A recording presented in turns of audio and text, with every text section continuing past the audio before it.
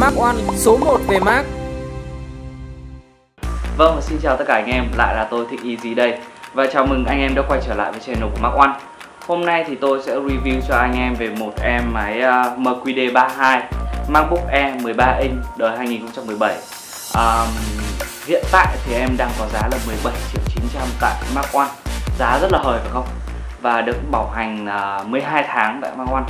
Uh, Bây giờ thì chúng ta sẽ đi sâu vào hơn với em nhé về cấu hình máy thì vẫn cơ bản là Core i5, RAM 8GB, 128GB SSD.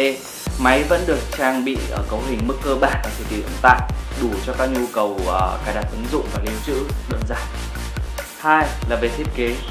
Máy có thiết kế vỏ nhôm nguyên khối như những đời trước. Ờ, à, ra thì sờ thì vẫn rất là sướng. Đấy, và nó không có sự thay đổi gì mới mà vẫn giữ nguyên thiết kế từ đời 2013 tới giờ. Điều này thì tôi thực sự không thích lắm tại vì tôi muốn nó có một cái điều gì đấy nó khác biệt hơn nữa ở Apple.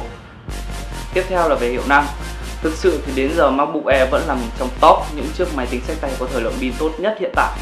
Vẫn là con số 10 giờ mà Apple đã công bố nhưng mà tôi nghĩ nếu mà chạy nhiều ứng dụng cùng một lúc và chơi game thì chắc là khoảng được ờ, uh, 5 tiếng hoặc 6 tiếng thôi. 4 là về bàn phím. Bàn phím của máy khá là tốt này. Ấn thì vẫn có độ nầy độ đàn hồi tốt. Hành trình phím thì ở mức độ ổn. Tiếp theo năm là về cổng kết nối. Máy vẫn được trang bị hai cổng USB ở hai bên là 3.0 một cổng Thunderbolt à, 2 cho tốc độ truyền tải tốt hơn. Một thẻ à, cổng đọc thẻ nhớ là SD và jack tai nghe 3.5 Tuy là không có nhiều cổng kết nối như laptop hiện tại trên thị trường, nhưng mà cũng đủ với người dùng. 6 là về màn hình. Đây là một điểm trừ rất lớn khi mà MacBook Pro có Retina, nhưng ở MacBook Air thì lại không có. Độ phân giải 1440 x 900 pixel cho chất lượng hiển thị màu sắc không được quá tốt, nhưng so sánh với nhiều dòng máy trên thị trường thì uh, vẫn tạm chấp nhận được.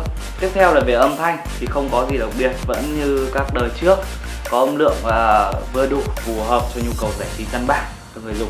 Tựa chung lại thì với 17 triệu 900 mà để mua một em Mac uh, E 13 inch 2017 thì giá cũng khá là hợp lý đối với những anh em mà mê trái táo và thích sở hữu cho mình một sản phẩm mỏng, tinh tế và sang rất hợp cho những anh em mà ờ, sành điệu chỉ muốn đơn giản như là xem phim, lướt web, uh, lướt Facebook, uh, uh, dùng những cái um, văn phòng đơn giản. Vậy là tôi đã review xong cho anh em về em MacBook Air 13 inch 2017 Vậy thì anh em à, nhớ ấn like, sub và ủng hộ để tôi có thêm nhiều động lực để clip nhé Xin chào anh em.